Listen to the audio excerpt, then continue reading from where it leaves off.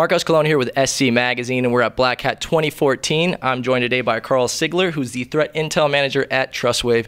Trustwave recently uh, came out with your Trustwave Global Security Report, and you guys had some really interesting information regarding the Backoff POS malware. I know US CERT recently uh, announced the discovery of this, so can you talk a little bit about uh, the malware itself? Sure. It's um, a unique family of malware. Mm-hmm. We discovered it initially as part of an investigation with the U.S. Secret Service back in October of 2013. Uh, since then, we've seen it in four separate forensic cases that we've been involved with. Um, it's kind of typical for a lot of the POS malware that we've seen before. It does memory scrape, scraping, looking for specific credit card numbers in memory. Um, it sends all that data encrypted back to a CNC server on the back end. Um, it, one interesting thing, it has um, key logging feature uh, that we really haven't seen in a lot of other malware. Uh, I think probably it's due. It is meant to collect credit card numbers that are entered manually. Maybe if the magnetic stripe is scratched or something like that. Um, but yeah, it's it's it's pretty bad. It's pretty bad. So how does we, it? Um, you, you mentioned the key logging. Are there any other uh, things that make it differ from other POS malware out there? Because obviously a lot of it's been coming out in the news now, and a lot of these businesses are on alert. And this one uh, it targeted about 600 large and small businesses, right? Correct. 600 businesses in the cases we've been involved with so mm-hmm. far. Now that the uh, indicators of compromise are out there and AV vendors are creating signatures for it, IDS vendors are creating signatures for it, uh, we'll probably see a lot more uh, come out in the wash uh, in the end of it. Um, but yeah, it's it's it's unique in the sense that it's not based on any other family. Mm-hmm. Um, you know, you have your Dexter, Alina, they're mm-hmm. very common POS malware families. Uh, this one seemed to be brewed by the or authored by the uh, criminals themselves. Um, which is why it evaded uh, antivirus and evaded a lot of signatures um, and was able to stay present for so long without being discovered. You mentioned a lot of those other uh, malware families out there. Do you foresee a lot of these other ones cropping up, new ones? Yeah, I, I, expect we're definitely going to see new malware families like this. They're not that difficult to, to write. Um, there's a lot of open source code out there that they could probably pull from, uh, leaked source code from other malware families. And um, POS malware, it's, it's kind of a low hanging fruit right now. So we've been seeing quite a bit of it. All right, now, now Karl's going to give us a test run and see how this stuff actually works. Yeah, sure, absolutely. So what I have here are two systems. One system represents sort of a mock POS system and the other system, this represents the command and control servers that the attackers would be using. So on the uh, mock POS system, the malware is already installed. Uh, the attack vector that the criminals were using were to uh, look for the remote access software that's typically installed on these POS systems uh, for troubleshooting purposes, for technical support. Uh, they found these systems open to the internet with weak passwords. They were able to log in and then dump the malware on the systems. The malware itself installs itself to the application data directory of whatever user was logged in and installs as a uh, executable javaw.exe. So when it's loaded up in memory, if you're looking at your processes, it, it kind of hides itself. It's not something you would typically look for or, or would stand out necessarily. Uh, there's also a backup version of the uh, malware that's encrypted called NSSKRNL or NSS kernel. Um, and this uh, component is used just in case the malware actually gets deleted. So backoff is constantly monitoring for its own presence in memory. And if it can't find itself, it will go ahead and decrypt this version and copy it back onto the file system for execution. The two features are memory scraping and, let me just go full screen with this. Memory scraping and keyboard logging. So on this mock POS system that we have here, if I was just you know typing in a cashier's ID, and I'll type in some fake number as a cashier ID, and then a password, and log in, all of that data is captured by the malware and then sent back to the the uh, control the control system. Uh, very typical for a lot of the malware that we see like this, but again, the keyboard logging is a little bit unique to the specific malware. Uh, the malware itself communicates with the attacker's system about every 60 seconds. Uh, so anything it captured in that 60 second increment, it's going to package up and then send to the command and control server as part of an HTTP post command. So all of the traffic leaving the POS systems looks like just web browsing traffic, just HTTP traffic. Um, so 60 seconds is a long time to wait for uh, the credentials to pop up. So we'll, we'll, we'll let that sit for a second. But the other thing it does is actually monitor for credit card data. And I'm going to scan a expired, completely deactivated credit card into the system. Okay. And you can see some of the track information here. So this is my account number. You can see the uh, expiration date. And you're also going to be able to see the uh, CVV code that's embedded in the magnetic strip. It did get all the track information here, uh, probably a little bit too fast of a swipe. Uh, but this is the type of information that's stored on your credit card magnetic strip.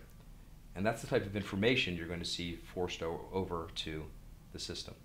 So you can see I've already gotten my uh, cashier's ID and the fake password that I typed in. And in addition, during that period, it was able to grab that credit card information. Um, this is typical for magnetic stripes. In uh, Europe and the UK, they're using chip and pin, uh, which sort of mitigates some of the damage that could be caused by these types of attacks. Uh, with chip and pin, the actual CVV code that authorizes the uh, transaction changes every single transaction.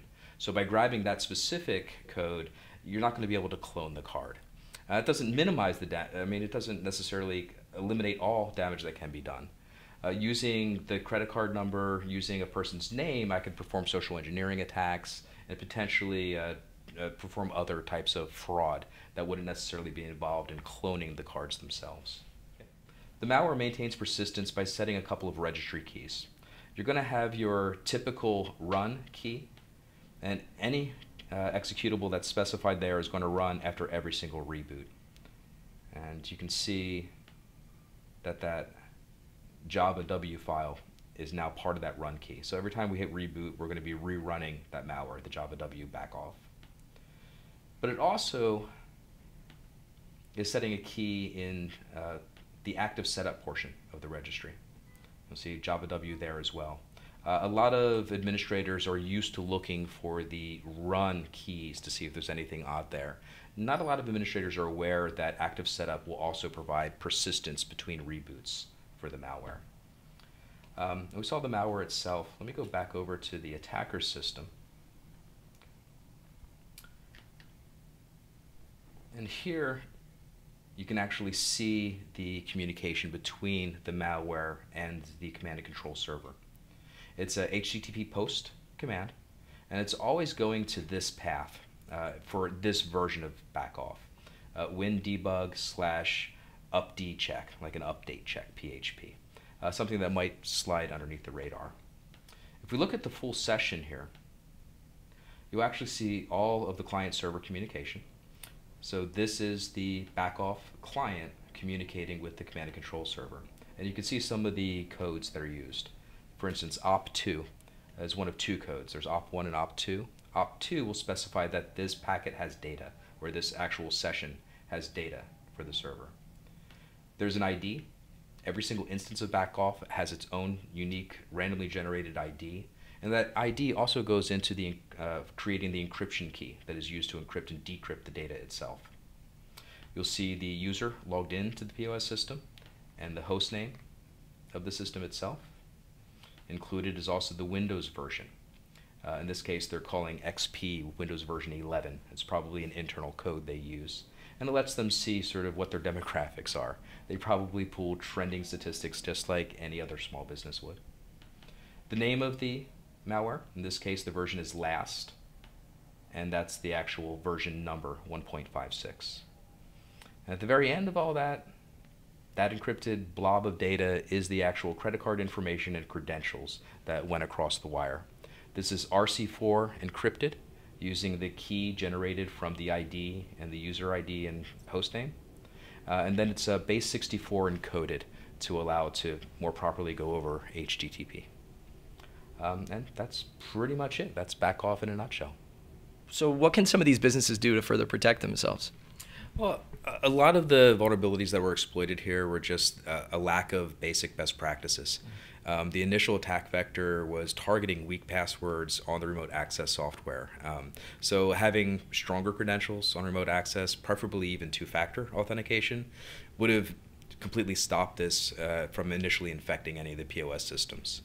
Um, I think also that a lot of organizations should be monitoring uh, what is leaving their networks.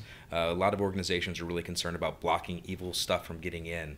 They should also be looking at what's exiting the network as well.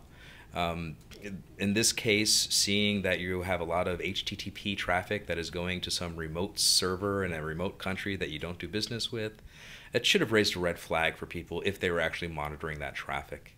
What about these? Uh, what about the vendors themselves, the guys that are actually creating this stuff?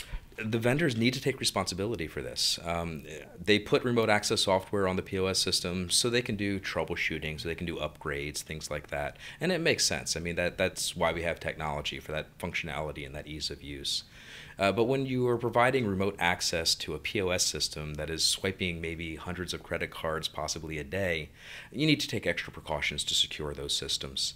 Um, so making sure that their systems were set up with two-factor authentication, making sure that they had firewall rules that would only allow the POS systems to talk back to their IP addresses only, um, would have gone a long way to uh, prevent this or at least mitigate some of the damage that was caused by it. Thanks for that great demo. Again, Karl Sigler, Threat Intel Manager with TrustWave. Thanks so much for being with us today. Thank you very much. I appreciate your time. And keep in touch with us, guys, because we got a lot coming from Black Hat 2014.